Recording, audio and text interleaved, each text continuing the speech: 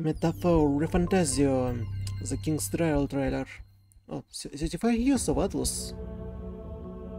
Studio Zero. I truly believed that I might end the strife and discrimination that plagued our people across nigh endless years. Did A you? land grotesque as its people. Let us speak of the old vulture's last grasp at power. The tournament for the throne.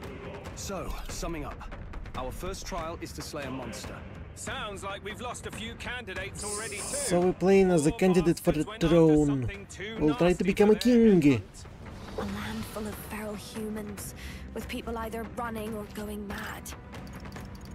What are we believing? Really?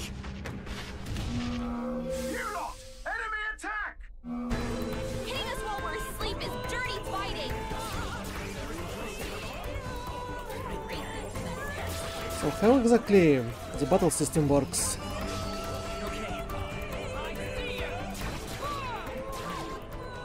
It's, it's action RPGs, it becomes turn-based RPG. exactly. I'd treat all tribes equally. Each ally of a different tribe. Fascinating.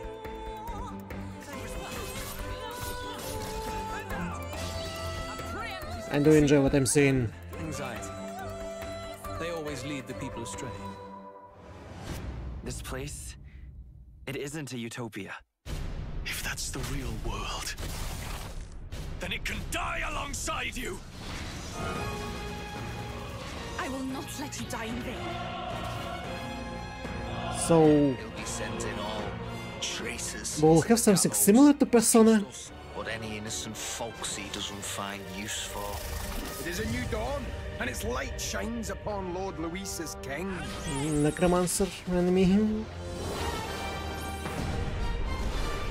The race's outcome is beyond your meddling now.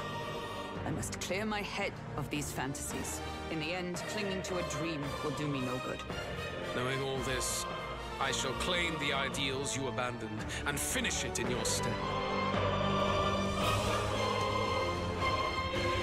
Metaphor ReFantazio. Uh, it's part of Game Pass and will be released in the same day as the release. Uh, 11 October?